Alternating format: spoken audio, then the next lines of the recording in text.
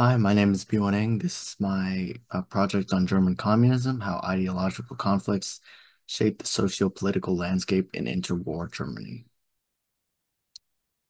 Just a quick introduction to my project. Um, my name is Biwon Ng. As I said, my mentor was Benjamin Schaefer, um, and I'm from San Francisco, California. Um, so why did I choose this project? Basically, first, big history fan. Uh, I love World War II, so I wanted to do something related to that topic. And I figured out why not do something related to the start of World War II. Um, since com the communism side uh, of Germany is not really taught taught too much in school, it's mostly you know Treaty of Versailles, reparations taught in school. So I try to um, do something that I don't know too much about. That's why I chose this topic. Um, so establishing thesis and starting uh, research.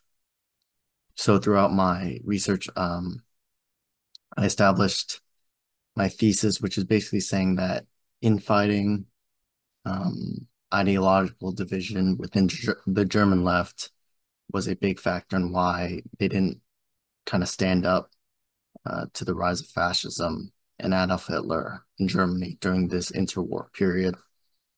Uh, two of my main sources that I used to kind of get background information on this subject was Creating German Communism by Eric Weitz and Assault on Democracy by Kurt Weyland. So um, some starting background knowledge, uh, sort of the biggest event um, that started this all was the October Revolution, in which Vladimir Lenin took power in Russia. This had two two impacts. First of all, it instilled a fear in established elites in Europe that a communist revolution could happen in their country and they could lose power. So that that was a big fear uh, for them. Second impact was that uh, communist cells across Europe believed, oh, since Lenin did it, we could do it, and therefore they tried to replicate Lenin's attempts at a takeover in Russia. So this did occur in Germany in 1919, um, in three kind of main centers, Berlin, Bremen, and Munich.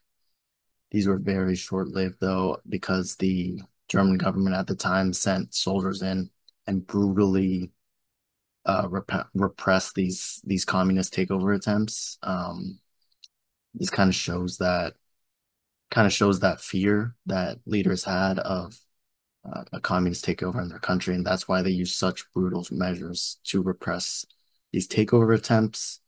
Uh, one thing to note about this kind of repression was that the leader of the German government at the time was a social democrat, so he wasn't uh, some right winger that really hated communism. He was a social democrat on the left. So it kind of shows how uh, differing the uh, the ideas of the German left were at this time. And then uh, last piece of context, just during the interwar period, um, the Weimar Republic was just a mess. It was riddled with hyperinflation, instability, and, and unemployment. Um, the unemployed roamed the streets, um, kind of looting, doing whatever. Uh, and the German Communist Party actually kind of took advantage of this at the time, trying to use the unemployed uh, as a way to start a social revolution because the unemployed were always protesting, demonstrating. So the Communist Party always tried to use them. Uh, and this represents kind of a difference between a traditional Communist Party and the German Communist Party at the time, because the German because the German Communist Party utilized the unemployed, while a traditional Communist Party would usually use, you know, the working class, the workforce that are in unions or something. So now that we have background information out of the way, we can move on to the foundations and start the start of uh, my research and my findings. Um, so at the turn of the century, uh, we had this um, fundamental debate in socialism. Edward Bernstein, the man on the left, publishes uh, the writing Evolutionary Socialism, where basically he kind of switches up on traditional Marxism, basically saying we don't need a social revolution anymore to reach a socialist utopia. We only need social reforms within the societies that already exist. this angers a lot of traditional Marxists like Rosa Luxemburg. And she basically says she writes Social Reform or Revolution, where she refutes, she tries to refute everything that Burns says, as she is a really pro-revolutionist, pro-military. And she's she basically thinks that the only way to reach the socialist utopia is the inevitable fall of the capitalist society and then a social revolution of the proletariat. Um, so this is a fundamental debate that kind of shapes the landscape of German communism for the years to come.